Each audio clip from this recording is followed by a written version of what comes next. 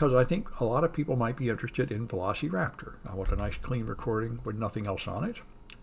So I added it to the projects on this web app page. Not that it's really right for this topic, but it's just the uh, only class to hit the appropriate time. But this is an interesting issue, I think, for anybody in the world of security. Um, so Velociraptor, I was very happy to learn about. Uh, in the incident response class that I'm not teaching this semester, but I taught in the past, I tried to use a product called GRR, Google Rapid Response. And that was a pretty nice product, but it didn't keep working. The next time I, uh, when I tried to use it, it wasn't working. They didn't seem to keep it updated well enough. The installer didn't install very well. And it was very frustrating. And Velociraptor is inspired by GRR and OS Query. Now, OS Query is a platform independent system that lets you ask questions about machines on your network, whether they're Linux or Mac or Windows. And the idea is you can do threat hunting. You can look through your network to find out um, what machines have indicators of compromise or extra listening processes or listening network ports or strange registry keys, you know, all the usual stuff you need to do an instant response. Now, uh, we instant response is not at the center of this uh, web hacking class, but it is an important issue. I mean, when you have some kind of security problem on your network, like typically something like a malware infection, then you analyze the malware to figure out what's going on, and then you try to find out what other machines are infected with that malware and track it down. So this is a very common thing that I say, um, this malware creates this file, and I want to know how many machines have that file. So let me get logged into my Windows machine here.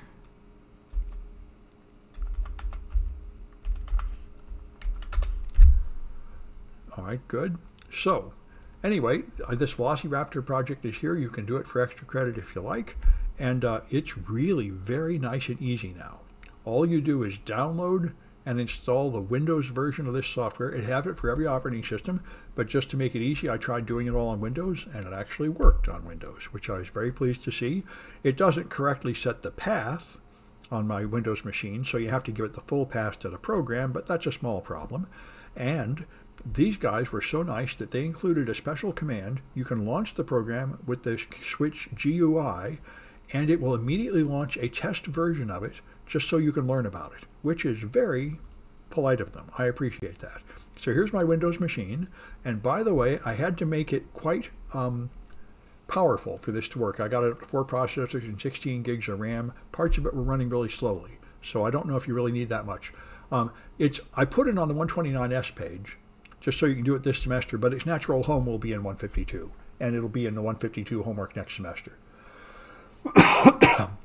152 is the instant response class, and that's really the natural home for this project. So anyway, all you need is one administrator command prompt, and then you run that code there, which will just run the Velociraptor executable in GUI mode. The GUI is a special mode of it which starts the server on the local machine and it starts a client on the local machine. Now the point is one Velociraptor server can have like hundreds or thousands of clients. It's like a domain controller. You'll have this one central incident response server and all these clients in your network, your Windows and Linux and Mac boxes. And from this central location, you will then launch hunts to hunt to see what's out there and gather the data and examine it all. Uh, but in this case, I'm just going to have one client, which is going to be equal to this machine. So once you launch this thing, it's going to uh, tell me, connected to this control, started there, and uh, it's, maybe it's still starting, I'm not sure.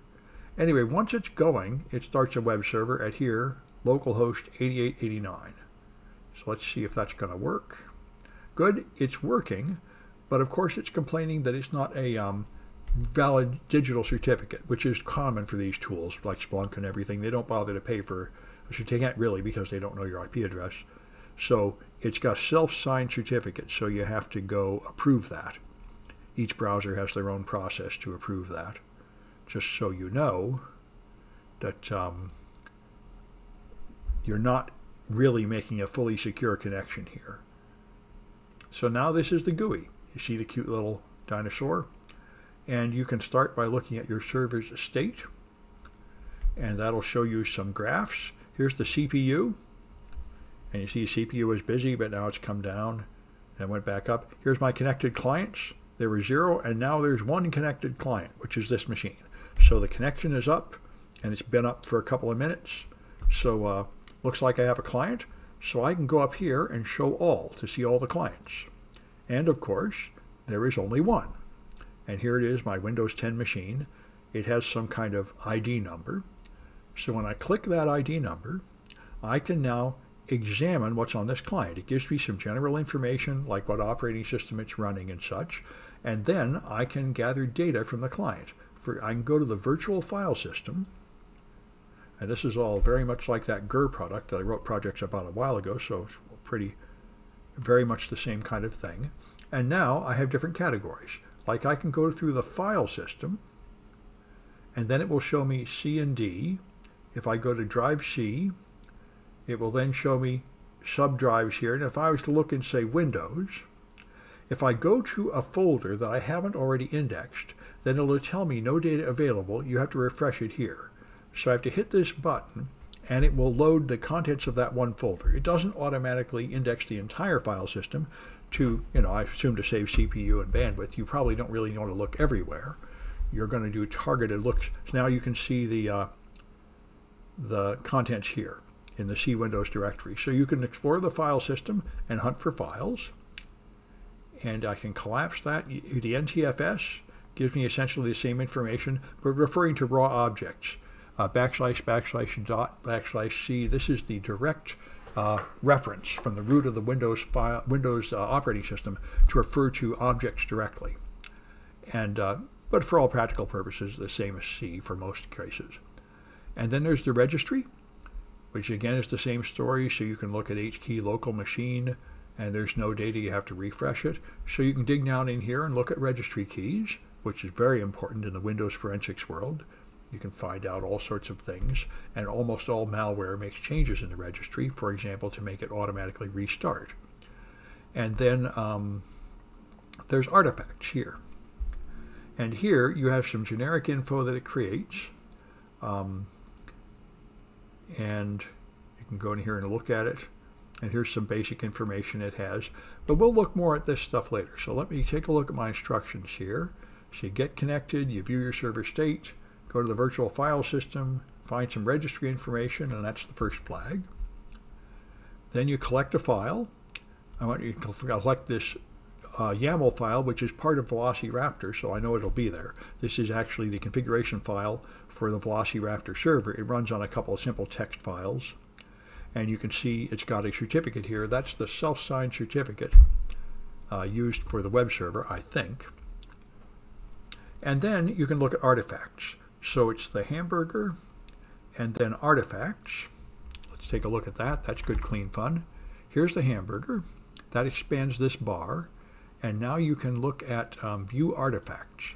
Artifacts are the um, things you look for in a forensic investigation. That's what they call them. The idea is that most of the time they're not deliberately placed like log entries. They are the accidental things caused by people using a machine, which is what you look at when you're trying to find out what's been happening on a machine. And so look at all these artifacts that are predefined. Now you can write your own queries, but um, if I look here, let's see if there are any that look fun. Here's Linux. I don't care about that or Mac. I care about Windows because I'm using a Windows system. And uh, thought there would be more. Okay, let me find out uh, the ones I liked before. Windows network listening ports. That's what I thought. So let's try. Um, I'll just add one here. Add. Uh, that's how I'd create a new one. That's not what I want to do. All right, just a moment. In the top right, type Windows, and I should see some Windows. All right, what's the deal here? Windows. There we are. Here's various kinds of windows. All right, so I can see the Chrome history and the Edge history. Um, I can see mutants, which are labels in the uh, memory space handles used to label objects, commonly used by malware. Um, I can run Yara.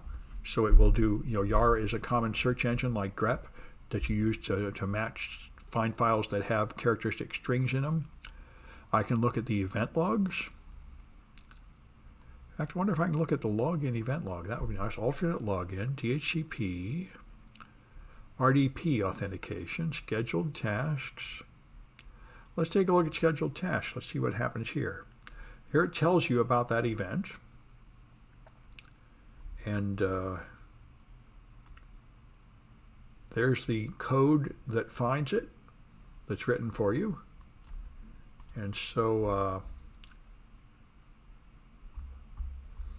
how to, this just look at it. So collecting listening ports, I go to collected artifacts, okay, and then I add it there. Right, okay. So this was just looking at the artifacts that are available. I have to go to collected artifacts to actually do a query on the server. Okay. And so now I've already got it here, listening ports. Um, but I added it by hitting plus here. And now I can put in anything I want. Let's see if I can add something else useful. Firefox history? Sure, let's get the Firefox history. So select that artifact, then configure parameters. And there aren't any, so I'll just uh, resources. I don't think I care about any of that. This is how much CPU it can consume and how much data it'll bring down. Then I review it. And notice it's really simple script to do that. Doesn't really have to do very much. And then launch it. And so now you can see some text scrolling by. This is the machine getting these requests and launching it on the, on the uh, client. So it is now added to this list, Firefox history. So if I click on that, I should be able to see the results. And there we go. So I went to mozilla.org and privacy. Looks like I haven't used Firefox. Went to GitHub to download the Flare VM when I installed this machine. Okay, there I went to my website. Here I went to a Zoom. Okay, so there you are. Uh, you got the FireEye, the Firefox history from that machine, and you know you could get looks like about a hundred pre-made artifacts for all the usual stuff, and you can write those little scripts to customize it to pick up anything you want. And you can schedule scans to run periodically to look for things. So this really is the cat's meow. And it's the reason why I decided to write this project and got very excited is because this company just got bought by um, Rapid7, the makers of Metasploit.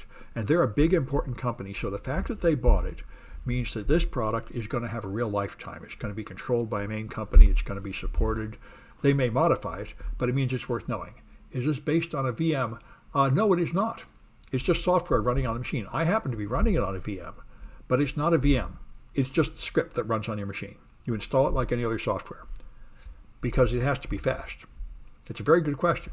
And that's why there's different version of it for every operating system. If you go here, you'll see they got it for um, Darwin is the Mac, FreeBSD, Linux, Windows, so you install it directly on whatever you want. And by the way, of course, they don't recommend using a Windows server as the main server because it wastes too much resources. They recommend using Linux for the main server. So like headless Linux server is what you probably should have there to get the most uh, efficiency. But I just put it on Windows as the easiest way to learn how to use it. And they talk casually about it, controlling hundreds or thousands of clients. So I'm sure you'd need a pretty beefy server for that, but apparently it's uh, not impossible and that's uh, that's what you do. Uh, yes, you can customize it. It is a framework. You can write stuff in. That thing is called Velociraptor Query Language, VQL. You can write your own queries, and I think you can probably add other kinds of extension modules too. Um, there's a training course going on right now that I saw the first four videos of, is how I got started, and there might be more now. I think I put it at the end of this page. Yeah, here's the Velociraptor course. It's Here's the documentation, and here's the course somebody's doing a video course and the first four lessons are out. This is what I looked at, and there will be more throughout May. Uh, there's this course, and I don't know if the course is free or not, but the videos afterwards are free. So it's coming. And uh, like I say, I expect um, now that it's been bought by Rapid7, I would expect over the next six months or a year, they will be upgrading it, improving it, changing it, making it better, and making it a commercial product. So I think there's a real future in this. I've been hearing about it for about a year, and uh, I didn't know if it was going to survive or not. But uh, Now it looks pretty good like it's going to survive. So I think it's, uh, it's worth learning the basics of how it works. And uh, that's what I wanted to show you. So I'm going to stop.